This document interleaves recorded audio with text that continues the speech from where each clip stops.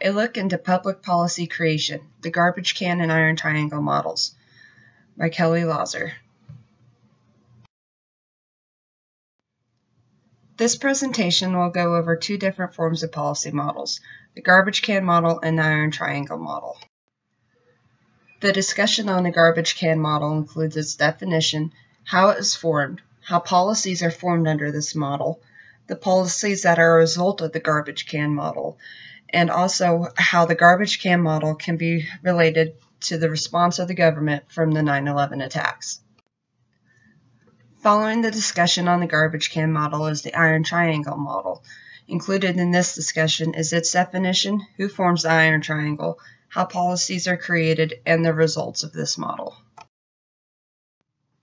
Before our discussion begins, it's important to understand what a policy model is. A policy model is a way to explain how policies and laws are created, and it can also be called a policy subsystem. While there are many different types of models, only garbage can and iron triangle models will be discussed in this presentation. Usually, there are five general steps involved in order for a policy to become passed. These steps include problem identification, agenda setting, policy formation, policy implementation, and policy evaluation. What is the garbage can model? Well, the garbage can model is a type of policy formation that can be considered sloppy and thrown together. Many different items are thrown together into the creation of a policy without coordination or much planning. As the title garbage can would suggest, everything is thrown in together and everything comes out just a big a mess as it went in. The garbage can model was created by Michael Cohen, James March, and Johan Olsen in 1972. They wrote about it in A Garbage Can Model of Organizational Choice. This writing explained how policy making is really a process of organized anarchies and the result of three different factors. These factors were problematic preferences, unclear technology, and fluid participation. Problematic preferences refer to the people that are involved in the policy making. Everyone involved has their own thoughts and ideas on what should happen and how it should happen, and people are often unable to clearly explain what they desire and what they want to see happen.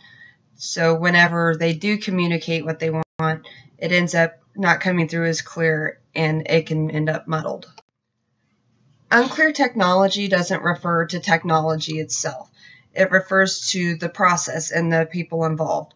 Um, the processes operate by trial and error, and they learn from their past mistakes. The people involved in passing the policies, when they're learning from their past mistakes, they're they've learned what hasn't worked before. So they're able to take that and translate it into this new policy, but they're still not sure of how this new policy will actually work once it's been implemented. Fluid participation refers to the people that are actually involved in the policy making as well. These people, they're able to put in different times of amount and energy into the process. If one person is more committed to the cause behind the policy, they're going to put in more effort and more participation than the person next to him who doesn't believe the policy is that important. Because of all these varying opinions on the subject, the policy itself may not be very consistent. Regardless of which policy model is being looked at, the five general steps for a policy to be passed remain the same. Problem identification is the first step in this process. During this step, there's been an identified issue, and this issue has been brought to the attention of the people that are in charge of making policies. Once those in charge have been made aware of the issue, they can put the issue on the agenda. Agenda setting is the second step in this process. Whenever they're setting the issue to the agenda, they decide how important it is and when they will deal with it. Once the problem's been placed on the agenda and it's time to deal with the problem, then the policy can be formed. This is where you see the garbage can model come into play because everyone that's involved in creating the policy, they have their own ideas on what should happen, when it should happen, and how it should happen. So you have all these ideas coming together from every different viewpoint on the subject. When all these different views come together and they're all used on the creation of one single policy, they can be very unclear and conflicting even at times. With so many ideas on the process, they try to use a little bit from each one to create the perfect policy. And unfortunately, that's not what happens.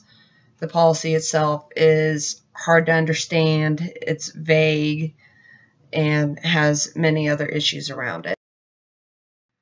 Once the policy's been created, it's time to put the plan into action.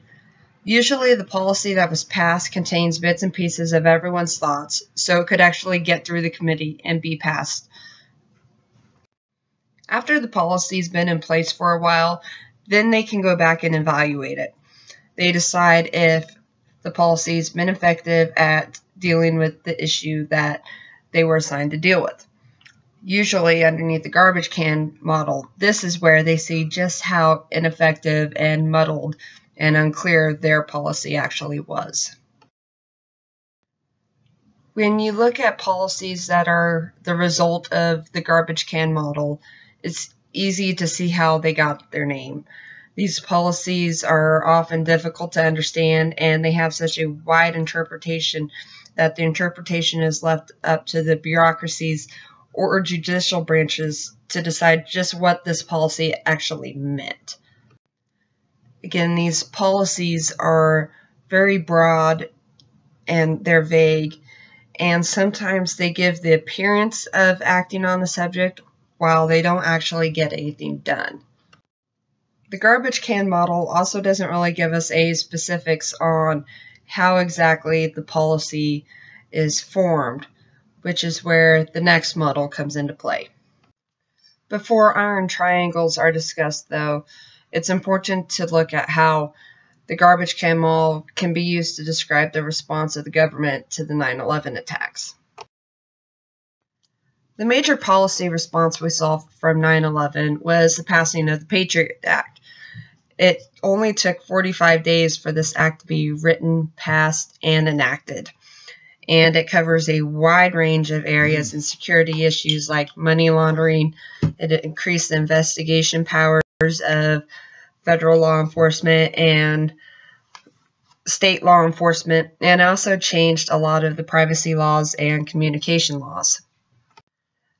The act itself was very broad and very vague on its wording, and the government was left to interpret what was meant by it.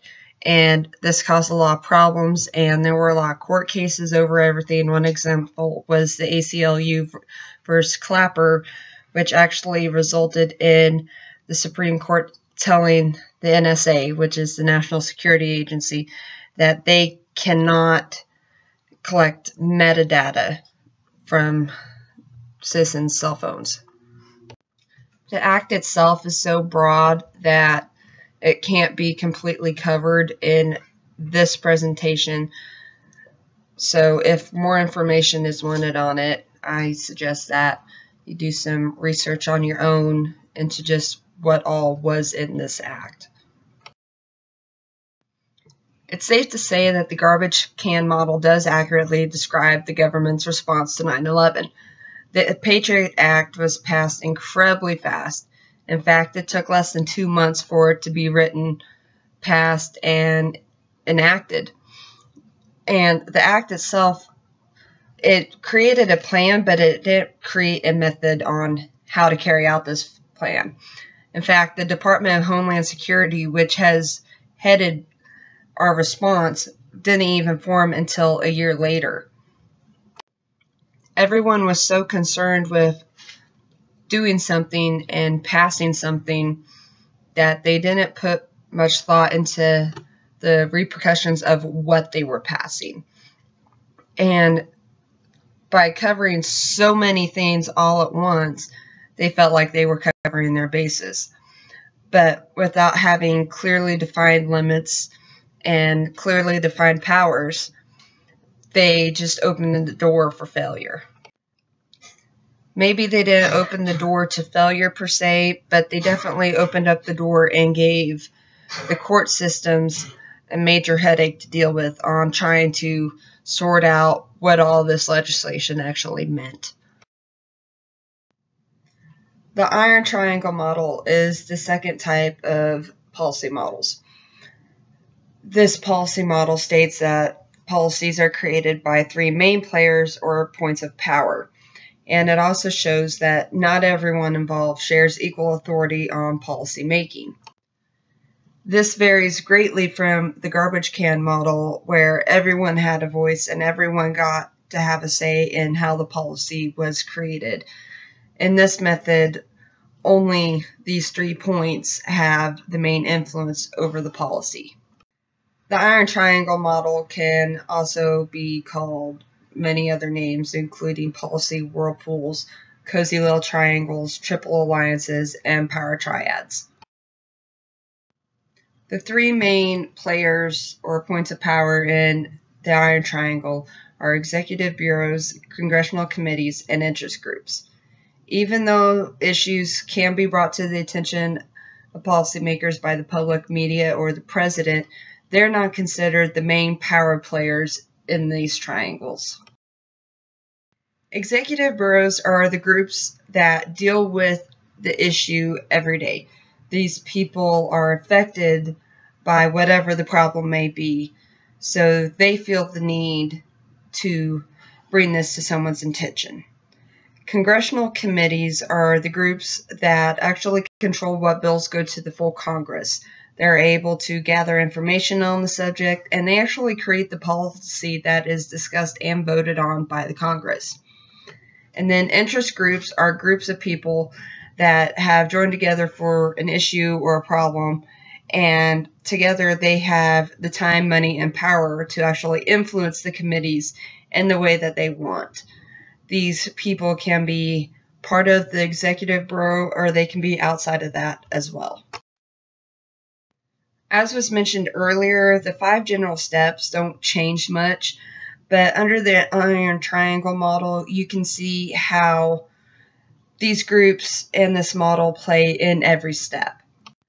During problem identification, the executive bureau is dealing with a problem and they are able to gather people within their group and outside the organization that are sympathetic towards them. This creates an interest group. The interest group will then bring the issue to the attention of a congressman who supports their cause. They can also bring it to the attention of the media and other people, and this is how they are able to gain more power and more influence. Once the interest group has brought the attention of a congressman to their issue, the congressman then uses the guidance of the interest group to push their issue with Congress. Once the issue has been pushed enough, Congress then will decide to set it to the agenda. Once it's on the agenda, then the issue will be sent to a committee group for discussion. This congressional committee group are the ones that actually form the policy, and they go off guidance of the interest group. The interest group will tell them what they want and how they want it, and the committee tries to pass the policy that follows their guidelines. Once a policy has been created that the interest group approves of and it's been passed, then it's time for the policy to be implemented. And this policy, policy should deal directly with the issue that the Bureau was fighting.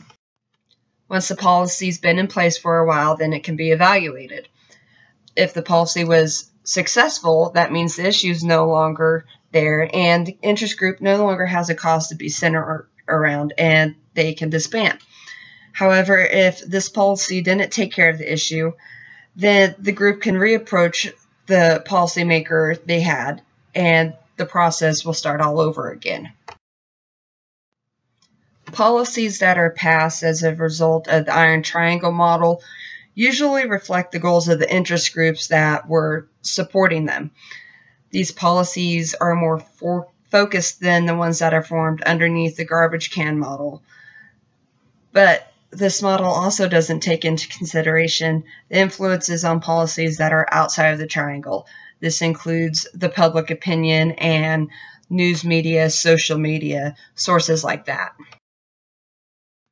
In review, there are many different type of policy models and there are five general steps regardless of the policy model that is used to pass a policy. The garbage can model describes how many ideas are thrown together and they create a messy, vague policy that deals with an issue. And this method can also be used to describe how the government responded to the 9 11 attacks.